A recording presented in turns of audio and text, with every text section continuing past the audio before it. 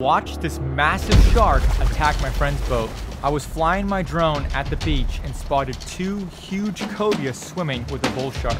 Cobia is one of the best tasting fish in the ocean, so I called my buddy Carl and he raced over to try to catch them. I was following his boat with my drone and then all of a sudden the shark attacked his engines.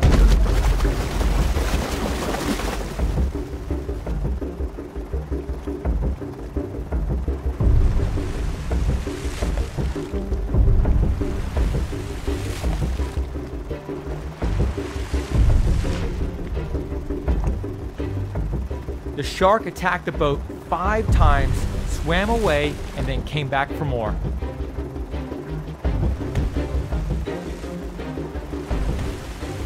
In total, the shark attacked Carl's boat eight times.